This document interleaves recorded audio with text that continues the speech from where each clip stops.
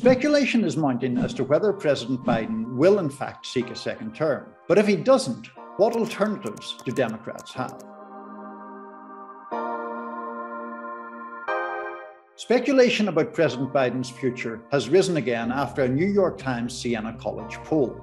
That poll found that 64% of Democrats would prefer a different standard bearer in 2024. Only 26% of the party's voters wanted President Biden to be the nominee. So if he doesn't run, what are the possible alternatives? Who would be the top candidates? Well, one name that comes forward obviously is Vice President Harris, but there are a couple of problems with that. Her approval ratings are not appreciably better than those of the president, and she has had a number of stumbles, particularly early in her vice presidency. Then another name that is often mentioned is that of Pete Buttigieg, the transportation secretary. Buttigieg, like Harris, ran in 2020, and he impressed a lot of people and did better than most people expected. But Buttigieg too would face some difficulties, not least a difficulty of prejudice. If he were elected, he would be the first openly gay president in the nation's history. Beyond that, there are a number of other 2020 candidates who might be persuaded to take another tilt at the White House. Back in April, an aide to Bernie Sanders noted that the senator from Vermont had not ruled out another White House bid, though he said he would only run if Biden did not. Another popular figure on the left, Senator Elizabeth Warren, might also run. And so too, from a more centrist perspective, could Senator Amy Klobuchar.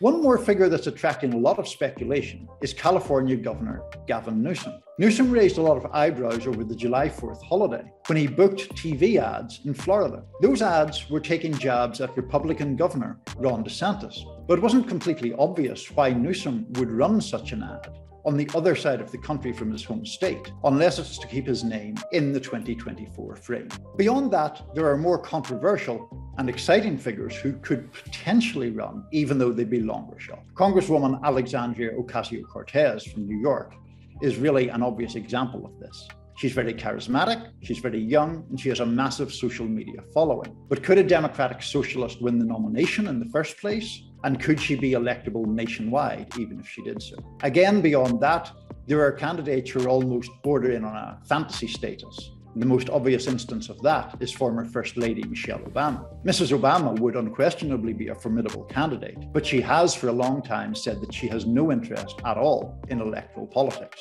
One other name that's in the mix is that of Hillary Clinton, the 2016 nominee, the former Secretary of State. But it's very difficult to see a real appetite for a candidate who lost to Trump and years before that lost a nomination battle with future President Obama. So there's really no clear alternative for the Democrats. And that might turn out to be a strong card for President Biden.